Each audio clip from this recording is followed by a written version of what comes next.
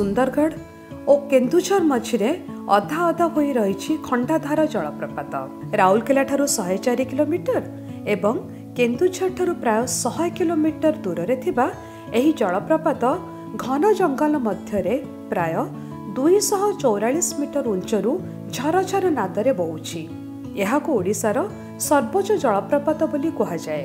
ସୁନ୍ଦରଗଡ଼ ଜିଲ୍ଲାର ବଣାଇଗଡ଼ଠାରୁ ପ୍ରାୟ ଉଣେଇଶ କିଲୋମିଟର ଦୂରରେ ରହିଥିବା ଏହି ଜଳପ୍ରପାତର ସୌନ୍ଦର୍ଯ୍ୟକୁ ଯିଏ ଦେଖିଛି ସିଏ ବାରମ୍ବାର କହିବ ଏଠାକୁ ଆସିବାକୁ। ଆଉ ଏହାର ମନୋରମ ସୁନ୍ଦରତାକୁ ଦେଖିବା ପରେ ପର୍ଯ୍ୟଟକମାନେ କିଛି ସମୟ ପାଇଁ ସବୁକିଛି ପାଶୋରି ଯାଆନ୍ତି।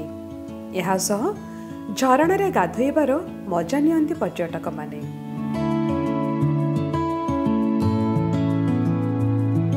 ସୁନ୍ଦରଗଡ଼ର ଅନ୍ୟତମ ପର୍ଯ୍ୟଟନସ୍ଥଳୀ ଯଥା ହନୁମାନ ବାଟିକା ବେଦବ୍ୟାସ ଧାମ ବୁଲିବା ପରେ ନିଶ୍ଚିତ ଭାବରେ ଖଣ୍ଡାଧାର ଜଳପ୍ରପାତ ବୁଲିବାକୁ ଯାଆନ୍ତୁ।